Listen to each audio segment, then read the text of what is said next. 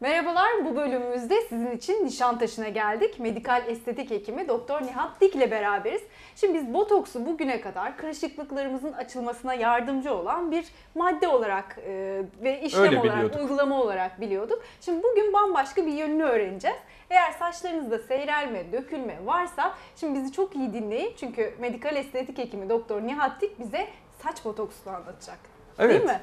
Kesinlikle öyle. Ee, biliyorsunuz ki saç e, Dökülüyor. yaşayan bir e, Evet. canlı, yaşayan bir organımız, yaşayan e, kıllar ve bunların bir kökleri var. Bu kökler aynen lale soğanı gibi Bir kök ve sürekli ondan bir saç çıkıyor. 8-12 yıl bir ömrü var. 8-12 yıl sonra ölüyor. Tekrar uykuya yatıyor saç kökü. Ondan sonra 3 ay sonra yeniden bir saç oluşturuyor. Yani 3 tane fazı var. Bu 3 tane anojen, telojen, ketojen diye 3 tane fazımız var. Bir tanesinde gördüğünüz sağlıklı saçların hepsi anajen faz. Sonra uykuda olan saçlar var, telojen faz. Bir de geri hazırlık aşamasında çıkmak için olanlar var, ketojen faz. Şimdi böyle bir fazımız ve böyle bir canlı e, varken halbuki saçları kestiğinizde saçlar kanamaz. Sinir uçları yok, damar yok. Çünkü bir tırnağımız gibi veya derinin üst dokusu, kornix tabaka gibi, epidermis gibi tamamen cansız. Ama kökler canlı. Şimdi botoks bu saçı nasıl çıkartır? Şöyle bir şey oluyor Amerika'da bundan 1-2 yıl önce. Bir tane plastik cerrah annesinin migren tedavisini biliyorsunuz migrende de botoks kullanılıyor. Ee, az önce bir hastama yaptım migren botoksu. Evet. 6 ay boyunca migreninden kurtulmuş olacak. Sürekli annesine migreni için saçına, e, kafa derisine botoks yapıyor. Aradan şöyle bir 3-4 şey botoks yaptıktan sonra annesine şey söylüyor. Ya diyor sen ne yaptırıyorsun? Bir şey mi içiyorsun? Ne yapıyorsun? Senin saçın çıkmaya başlamış. Annenin o da, saçlar çıkmaya Annenin başlıyor. saçları çıkmaya başlıyor. E, O da yo diyor ben hiçbir şey içmiyorum, şey yapmıyorum. İşte bildiğin gibi yalnızca sana bu iğneyi yaptırıyorum falan. E, buradan hareketle e, ondan sonra klinik çalışmalar yapılıyor. Bakılıyor ki eğer ki androjenik yani erkek tipi saç dökülmesi varsa kadın olsun erkek olsun. Erkek tipi saç dökülmesi ne demek? Erkek tipi saç dökülmesi şu demek. Bu frontal kas oksipitale yani kafanın gerisine doğru giden böyle yelpaze şeklinde bütün kafayı saran bir kas. Musculus frontalis. Bu musculus frontalis o kadar buraya basıyor ki, o kadar gergin bir kas ki saç köklerine kan gitmesine izin vermiyor damarların üzerinde sürekli bir baskı. Aynen bahçeyi sulayan hortumun üzerine ayağınızla basmışsınız gibi baskı uyguluyor.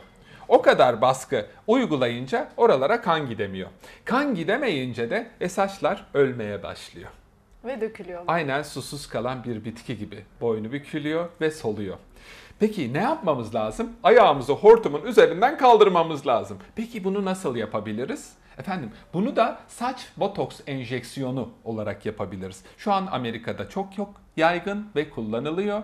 Almanya'da da var, İsviçre'de de var, İngiltere'de de var, Fransa'da da var. Peki Türkiye'de bizim İstanbul'da Nişantaşı'nda Doktor Nihat Dik'in kliniğindeki farkı ne oradan? Neden yurt dışından bile Neden yurt dışından bile buraya geliyorlar? Tamamen duygusal.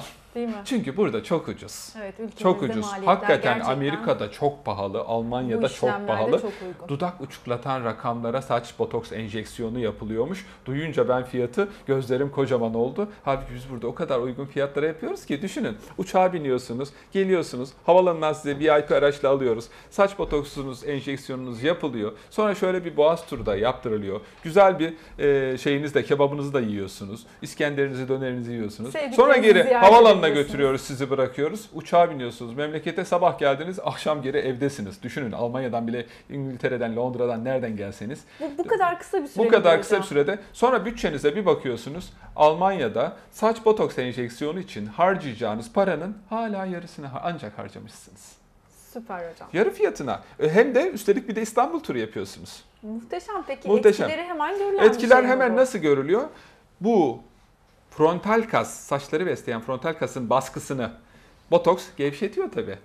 Botoks gevşetici ya Gevşetir, çizgili gevşetmez, çizgili kasları gevşeten bir özelliği olmasından kaynaklı Evet. olarak ilk botoksun bulunma şeyi nedir biliyor musun? İlk uygulama alanı. Şaşılık.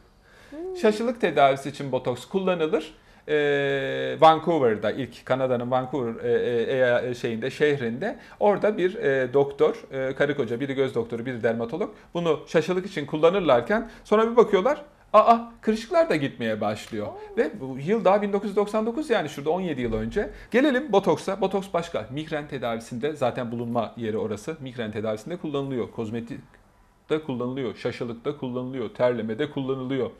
E saç da çıkartsın artık ve saç çıkartma işinde de kullanılıyor. Saç botoksu enjeksiyonu diyoruz adına. Buradaki baskı kalkınca oralara kan yürümeye başlıyor. Saç kökleri kanlanıyor. Saç kökleri kanlandıktan sonra da ne olur? Vitamin taşınmış oluyor. Oksijen taşınmış oluyor. E saç köklerinin de saç üretmekten başka çaresi kalmıyor. Ve bunlar başlıyor uzamaya. O hani böyle tüy gibi olmuş artık iyice böyle ömrü sonlanmak üzere olan kıllara bir bakıyorsunuz kalın kalın çıkmaya başlıyorlar ve bunu hemen 1-2 ay içerisinde görmeye başlıyorsunuz. 2 veya 3 seans yaptırdığınızda gayet sağlıklı, gür, harika, güzel saçlarınız oluyor. Şimdi modelimiz çok saçsız bir model değil. Biraz e, açıklık var ama Şöyle yanlardan açılmaya başlamış. Evet. Bakın eee, saç botoksu için çok çok güzel bir İdeal eee, bir ideal. model. Neden biliyor musunuz? Çünkü saçlar dökülmeden saç botoksu yaptırmanız lazım. Saçlar tamamen döküldüyse, artık o zaman dökülme saç işlemi ekimi tamamlandıysa evet ona saç ekimi yapıyoruz. Çünkü zaten 20 yıldır saç ekim merkezi eee, çalıştırıyorum. Öyle bir saç ekim merkezim var. 20 yıldır saç ekimi yapıyorum. Onun için de saç botoksu benim çok çok iyi bildiğim bir konu. Daha daha Türkiye'de saç botoks enjeksiyonunu yapan tek hekim benim. Harikasınız hocam. Gerçekten çok güzel şeylerden bahsediyoruz. Peki bu kadarlık bir açıklıkta ne kadar enjeksiyon yapmanız gerekiyor? Bu kadar bir açıklıkta bakın frontal kasın büyüklüğü neyse frontal kasın her tarafını e, belli e, noktalarda her tarafını gevşetmeniz gerekiyor. Her tarafı gevşeyecek. Sırf mezoterapi veya PRP gibi saçın tek döküldüğü yerlere yapmıyorsunuz. Frontal kasın tamamını gevşetiyorsunuz. Bu kas gevşediği zaman o zaman kan damarları şöyle oh diyor bir rahat nefes alıyor ve oralardan oksijenler gitmeye başlıyor. Kan gidince oksijen de gider. Ne oluyor? Saç döken kötü bir hormonumuz var. Dihidrotestosteron. Yani normal testosteron. Bir tane enzim var 5 alfa rediktaz. O enzim yardımıyla kötü testosterona dönüşüyor. Saçlarımızı döken androjenik yani erkek tipi saç dökülmesinde o kötü testosteron. Bol oksijen gidince kötü testosteron oluşamıyor biliyor musunuz? İyi testosteron kötü testosterona oksijen varlığında dönüşmüyor. E siz o bölgeye oksijen salarsanız işte ne yaptınız? Kötü testosteronu yendiniz. O zaman ileride dökülecek saçların da önüne geçtik. Aynen öyle. Önlem almış yani oluyoruz. erkekte yüksek testosterondan kaynaklanan saç dökülmesi artık sizin kaderiniz olmayacak. Neden? Çünkü artık kötü testosteron üremeyecek. Türk erkeklerinde daha fazla mı dökülüyor saçlar hocam? Ee, yo hemen hemen bütün mı? toplumlarda aynı. Şu an e, buraya gelen en çok saç ekimi için veya şey için e, Araplar çok Hmm. kafaya takıyor e, kel olmayı. Onlarda da çok fazla kellik var. Hemen hemen dünyanın her tarafında e, kel olmak veya olmamak neredeyse %50 %50. Yani toplumun %50'sinin saçı dökülüyor. Hem de neden? O kötü testosteron yüzünden. İşte o Özellikle kötü erkekler için de çok önemli bir aksesuar saç. Aynen öyle ama tek erkeklerde mi dökülüyor? Hanımlarda da dökülüyor. Çünkü kadınlarda da erkek tipi saç dökülmesi var. Neden? Çünkü erkeklerdeki testosteronun 8'de biri oranında kadınlarda da testosteron var. Eğer ki bir yumurtalık kisti varsa veya başka bir sebeple vücutta testosteron üretimi artmışsa erkek tipi saç dökülmesini görüyoruz. Tedavi Tabii ki tedaviyi kadın doğumcular işte doğum kontrol hapları vererek yapıyor, şey yapıyor. Ama kaybedilmiş saçları geri getirmek için ne yapıyoruz? Saç botoks. Hanımlara da saç botoks enjeksiyonu yapıyoruz. Harika hocam. Çok güzel bilgiler aldım sizden. Ee, çok daha fazla merak ediyorum. Peki tekrar e, dökülüyor mu yoksa tamamen kalıcı bir tedaviden bahsediyoruz Ee, saç burada? botoksu enjeksiyonu 6 ayda bir yapılıyor. 2 veya 3 uygulama sonrasında eski saçlarınıza e, kavuşuyorsunuz. Ondan sonra yılda bir saç botoks enjeksiyonu yaptırmak saçlarınızın dökülmemesi için yeterli. Kaşlarla bir ilgimiz var mı? Kaşlarda şöyle, e, kaşlardaki dökülme genelde e, psikolojik kökenli ya da kaşları yolmaya Bu bağlı. erkek tipi dökülmeye Ee, girmiyor değil Yok, mi? erkek tipi dökülmeye kaşlar girmez, sakal da girmez. Onlar genelde psikolojik kökenlidir. Biz Hı hı. onlara e, genelde işte saçlarda da para para dökülme olur. Onlar alopecia areata deriz veya e, halk dilinde de biliyorsunuz saç kıran, sakal kıran şeklinde e, düşünülür, e, şey yapılır. Onun tedavisi bambaşka. O genelde psikojenik kökenlidir, sıkıntıya bağlıdır. O tür durumlarda da o bölgeye özel bir karışım yaptırtıyorum. Özel bir eczacım var. E, onun hazırladığı karışımı o bölgeye sürdüğünüz zaman 3 ay içerisinde kesinlikle o sakal kıran, saç kırandan kurtuluyorsunuz. Yani size geldik mi memnun olmadığımız her tarafımızla ilgili bir müdahaleniz mevcut hocam. Ama Saçlar dökülüyorsa saç Saç, çıkartıyorsunuz. saç bizim işimiz. Ee, Yüzümüz buruşmuşsa, sarkmalar varsa cilt gençleştirme Orada da evet teknolojileri var. kullanıyoruz. Onda teknolojiler ama saç bizim işimiz. Saç konusunda tedavi edemeyeceğimiz bir hasta olduğunu hiç sanmıyorum. Süpersiniz hocam. Ellerinize sağlık. İzleyicilerim adına size çok teşekkür Ben ediyorum. teşekkür ederim.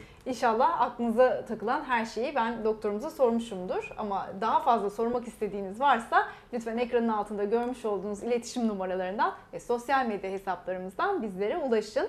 Nişantaşı'nda medikal estetik hekimi Doktor Nihat Dik ile beraberdik. Çok yaşa tüm hızıyla devam ediyor.